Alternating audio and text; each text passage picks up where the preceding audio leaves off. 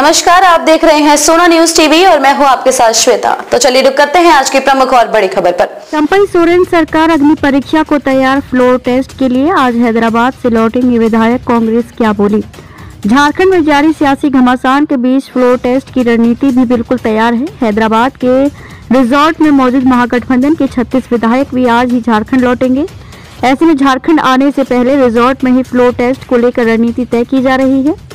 जानकारी के मुताबिक रविवार शाम छह बजे तक जेएमएम कांग्रेस विधायक हैदराबाद से झारखंड लौटेंगे और कल चंपई सोरेन सरकार का फ्लोर टेस्ट होगा, जिसमें झारखंड के पूर्व मुख्यमंत्री हेमंत सोरेन भी शामिल होंगे। उधर कांग्रेस ने भी बहुमत होने का दावा किया है। कांग्रेस नेता जयराम रमेश ने कहा कि इक्यासी सीटों वाली विधानसभा में हमारे पास बहुमत है, हम फ्लोर टेस्ट जीतेंगे। उन्होंने कहा कि हेमंत सोरेन को विशेष अदालत ने अनुमति दे दी है। उनके खिलाफ ईडी ने साजिश की है। उन्होंने मोदी सरकार पर निशाना साधते हुए कहा कि मोदी सरकार इंडिया गठबंधन के सदस्यों के खिलाफ ईडी, सीबीआई और आयकर विभाग का दुरुपयोग कर रही है।